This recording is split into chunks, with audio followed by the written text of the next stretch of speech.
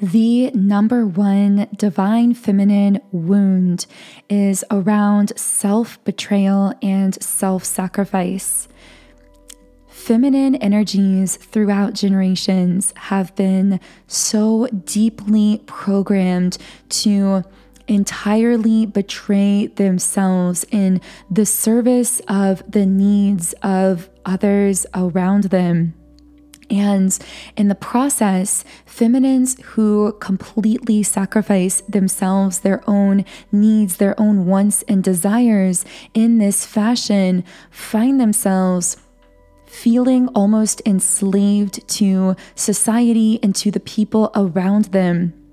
Not only that, but when they reach a breaking point and come to finally recognize that they themselves have needs to be loved, to be seen, to be supported, they often find that when they try to express these needs to receive that love and support, they are not met with respect and therefore they feel silenced and unheard and nearly invisible.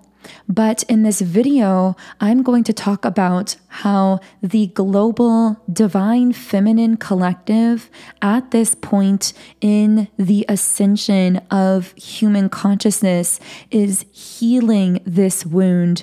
And in doing so, rebalancing the divine feminine and divine masculine energies on a global scale. Not only that, but in this video, we're going to talk about how when you heal this very specific wound through steps that I'm going to share in the video, you will go from feeling unseen, unheard, and possibly again, even invisible to being extremely magnetic for everything and everyone that you desire. Your desires will literally start chasing you because you are meant to be pursued. You are meant to be chased by the things and the ones that you desire as the beautiful, divine, feminine goddess being that you are.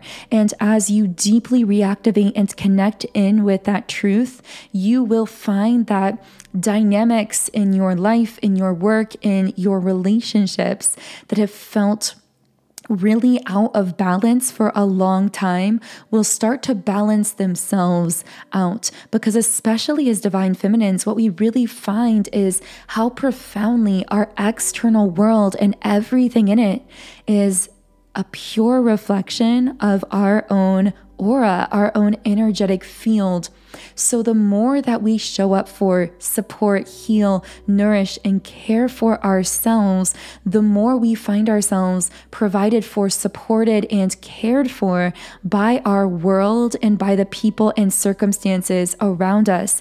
And rather than needing to ask or demand these things verbally from other people, they flow to us naturally because we shift the balance from within ourselves. And via the law of attraction, the governing law of our universe, when we shift the energy from within ourselves, our physical reality must reflect those internal shifts. It's the mantra as within, so without, as above, so below. But before we get into all of that, let me introduce myself to those of you who are new to the channel. If you are new here, then welcome. My name is Infinity. And this is Magnetize Yourself, where we talk about life, love, spirituality, and of course, the law of attraction. If you are feeling a resonance with the energy here, I invite you to subscribe to the channel, join our beautiful community of like minded, conscious, creative beings here on YouTube. Okay, so as a divine feminine being, one way to go about shifting this balance energetically between you and the other things or people in your life, one way to heal this wound around self sacrifice and around self worth that keeps you in that state of imbalance is to begin finding ways to carve out time and space to deeply reconnect with your own internal world. The wounded divine feminine will reach and seek externally outside of herself to fill a void that can only be filled by her own self within. And so, as we are on this journey of healing our feminine energy, it's so essential to create space in our day or in our lives where we are focused on cleaning up our inner world and deeply reconnecting with our own internal self rather than seeking for that sense of connectedness externally. Now, of course, this can be done in so many ways.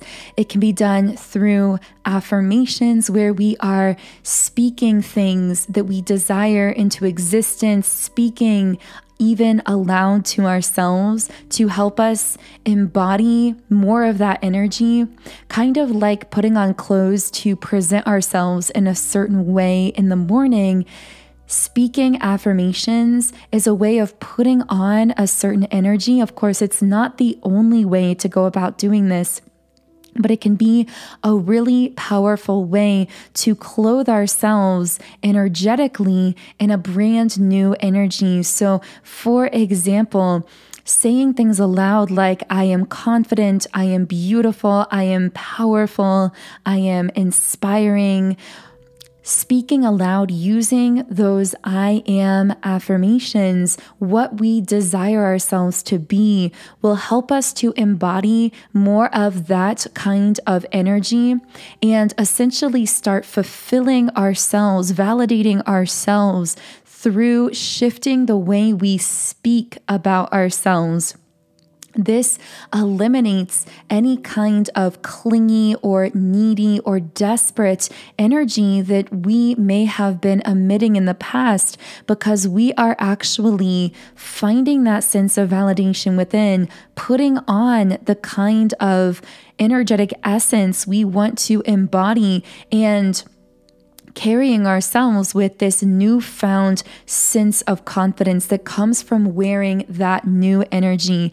Now, of course, affirmations that we speak aloud are mostly targeted to the conscious areas of the mind, but research has shown that it's actually the subconscious mind that controls 95% of our thoughts, actions, and outcomes in life. So, reprogramming what's happening in our subconscious mind as the divine feminine is so essential as well. And it's really a powerful way to fast track some of these energetic shifts and changes to essentially shift our energy from the inside out. One very, very powerful tool to target the subconscious mind is subliminals. Subliminals are affirmations that are targeted targeted to the subconscious areas of the brain because they are affirmations embedded within other meditation sounds and frequencies, which actually allows them to bypass the conscious filter of the mind and make deeper, more lasting impressions on the subconscious mind. Personally, I have been meditating with subliminals for seven years now, and I have seen the most profound results, shifts, changes, and manifestations come into my life as a result of using subliminals on a nearly daily basis for the last seven years. So, because I'm so passionate about them, I created my very own subliminals app called Sound and Soulful. It's now available in both the Apple App Store and Google Play Store. And when you sign up for a seven day free trial account in the app, you can access over 130 subliminals I've created. You can make your own custom private playlists. You can even read the affirmations contained within each subliminal while you are listening. And I've made each subliminal available in 10 different background sound options as well. So there's really a listening choice for everyone. And again, I personally now use my own subliminals in the app every day. And I find that they really help me to ground myself, to clear my energy, and to really step into that magnetic state of being as a divine feminine myself, as I know that you probably are as well if you are listening to this video. So, specifically for this podcast video, I would most highly recommend my subliminal called The Awakened Divine Feminine. This is designed to really magnetize your energy as the divine feminine goddess being that you are, to really help you call back your energy, reclaim your power, get into that flow state of manifestation where your desires are literally chasing you and are coming into your life effortlessly, with ease, harmoniously. So, if you would like to try out this awakened divine feminine subliminal, the link to download download my app and sign up for a seven day free trial account is in the pinned comment and description box underneath the video. The second way that you can heal this worthiness wound as a divine feminine around self sacrifice and self betrayal and really shift the balance in all of your connections, but especially your romantic connections, is to make what is happening in your life more interesting to you than anything that is happening external to your life. And what I mean by that is you have to shift the emphasis from other to self. You have to shift the emphasis from being interested in what someone else is doing, who they're talking to, what they're interested in, what they're up to to you and what you are doing and what you are building and what you are creating. And the thing is, this isn't something that can be faked. I speak a lot on this channel about the quantum realm and about how through this quantum space, we are actually all deeply interconnected to one another. Telepathy isn't just this fairy tale idea, it's a reality, even though it mostly happens subconsciously. So, subconsciously, you can send out an energy as a divine feminine that either repels your desires away from you or attracts them magnetically towards you. And this includes desires, connections, desired connections, relationships, and people in your life, especially when it comes to love, romance, and romantic attraction. When it comes to these romantic connections or situations, masculine energies connected to you are very easily able to perceive subconsciously whether you are fulfilled within yourself, whether you are focused on yourself, interested in your own self, in your own life, emphasizing all of that, or whether you are placing all of the emphasis and all of the focus on them. And when you are f- placing that focus, that emphasis on them as the other, this actually can create a bit of a repulsing kind of energy. And the reason for this comes down to that magnetism between the divine feminine and the divine masculine, because a healed, awakened, embodied divine masculine is one who likes to take action, to go after what they want to be, in essence, the chaser, the pursuer in a connection. So when you, as a divine feminine, create space for him to do that by placing the emphasis where it belongs back within yourself, really relaxing back into that divine feminine effortlessness, that essence of your own being, he can feel that shift. And while I do use these pronouns for ease of reference in these videos, he and him when I'm talking about the masculine energy, and she, her when I'm talking about the feminine please do keep in mind that these are just labels to describe energies, and that actually we all do have a balance of each of these energies within us, just like there is a balance of the masculine and feminine in all of nature, all of creation. But we do tend to lean towards one polarity or the other. But again, this isn't necessarily related to any gender or anything like that.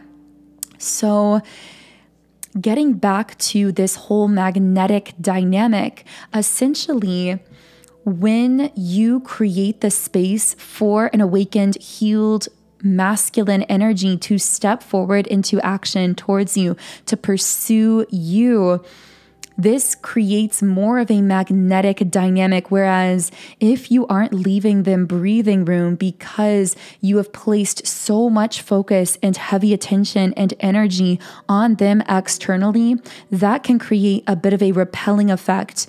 And Again, the best way to really place that emphasis and focus back on yourself is through being immersed in what you are building, what you are creating, your dreams, your visions, and really allowing that to be the dominant focus of your life, allowing that to be the priority and these other connections, people, and things to be secondary to that overarching vision of yourself and your life we are mistakenly taught that it is selfish as a feminine to be self focused in that way, when actually it is so highly magnetic. And again, especially when it comes to romantic connections with a masculine energy, but not just limited to love and romance. This also applies to attracting in anything as a divine feminine, because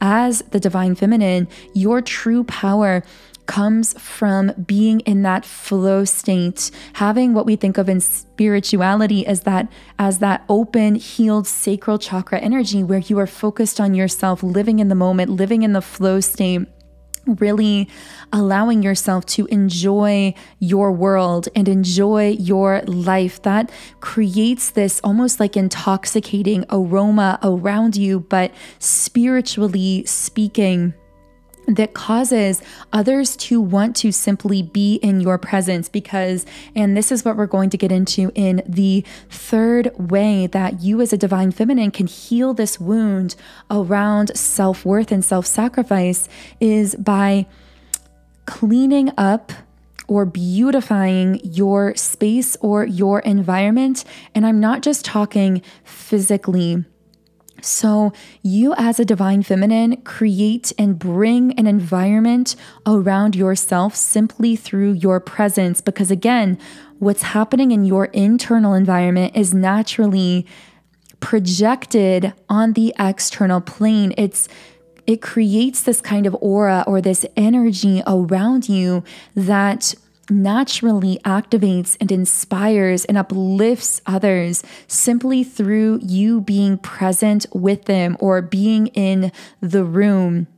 And so, when you find ways to clean up either your internal environment, meaning to Allow yourself to take time out of your day to focus on things about yourself and your life that you love or that you appreciate, whether that's making gratitude lists or reading books that fill you with a sense of joy or peace or appreciation, really valuing finding ways to cultivate a peaceful, harmonious, happy internal environment within yourself and also at the same time, of course, there can be a physical element involved in that where you are finding ways to promote a sense of inspiration and ease and flow and peace in whatever physical environment you find yourself in. So, of course, this can look different from person to person. And I always advocate listening to your intuition above all else because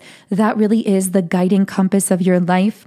But this might look like decluttering your space, like physically cleaning up your home environment, organizing your space, creating a space in your home where you can dedicate yourself to doing some kind of creative work or doing some kind of ritual that feels sacred to you personally, allowing your environment to serve you, to facilitate you. Again, whether we're talking kind of symbolically about an internal mind and emotional environment that serves you, or an external environment that serves you and your vision and the the living of your ideal lifestyle, including, of course, the expression of your passions. So, for example, if you are a painter, maybe you have a corner of your home where you have an easel and paint easily set up and available for you to be able to create. Or if you're a writer, you might have a certain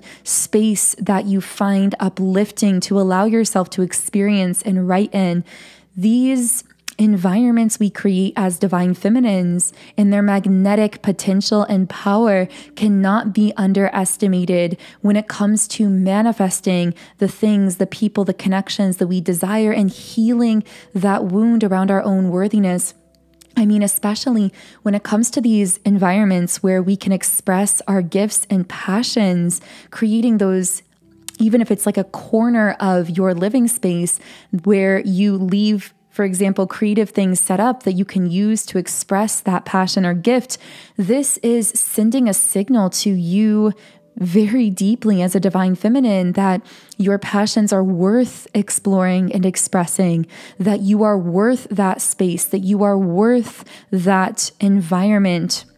So, I really hope this video has been helpful or beneficial to some divine feminines out there listening. If so, I would love for you to leave me a comment under the video you can also follow me on Instagram at Magnetize Yourself. And of course, I would love for you to subscribe to the channel and join our beautiful community here on YouTube.